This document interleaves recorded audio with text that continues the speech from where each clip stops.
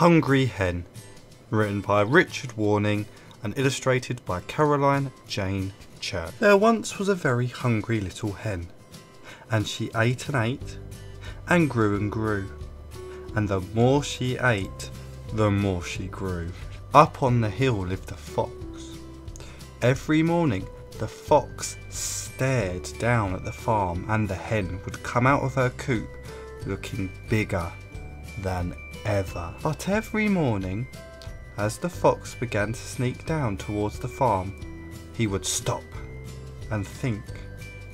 If I just wait one more day, the hen will be even bigger. And so he waited and waited and waited. And the hen grew bigger and bigger. And the fox grew hungrier and hungrier.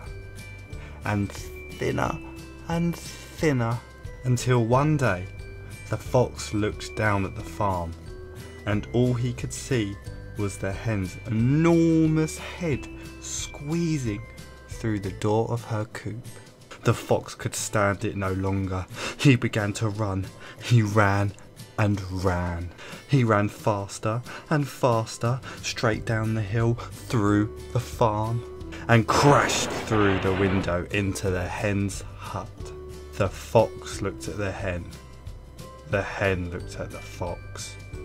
The fox licked his lips. And just as the fox was about to pounce, the hen bent down and gobbled him all up.